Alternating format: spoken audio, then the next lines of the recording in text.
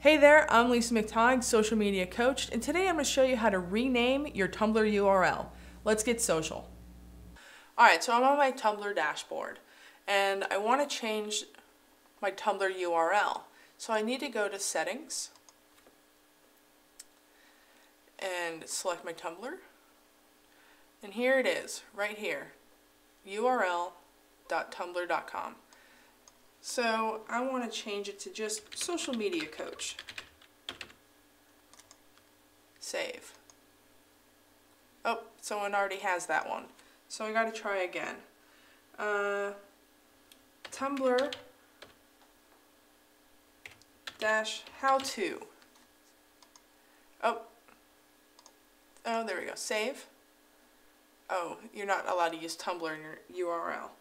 Alright, so let's just go with Lisa, social media coach 13. 13 is my favorite number. Save.